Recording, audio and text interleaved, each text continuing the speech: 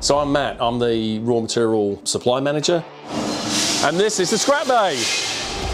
I source and procure the raw materials from all over the world to, to make the bits that we, that we make here.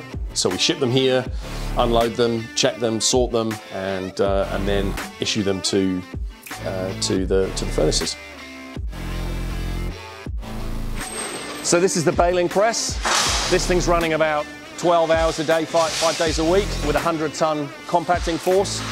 Uh, we use that to densify a lot of the raw material that we use, which just helps with the melting process in the foundry, but also makes it easier just from a manual handling point of view. Once it's been densified, we then issue it onto a charge.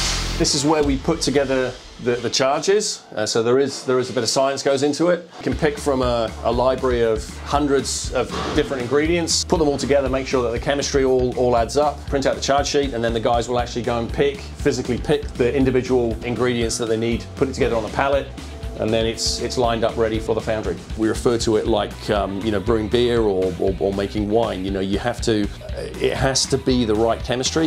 Yeah, so this is an aluminium bronze charge that we've picked and, and put together. When they've melted that, they test it, make sure it's right, uh, trim it if necessary, uh, and then they'll cast it or transfer it to the to the casting machine, and then the whole process starts again.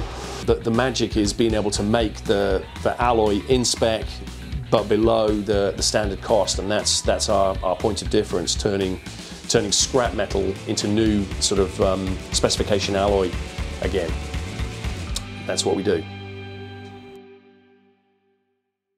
Thanks for watching, everybody. Um, what were we going to say?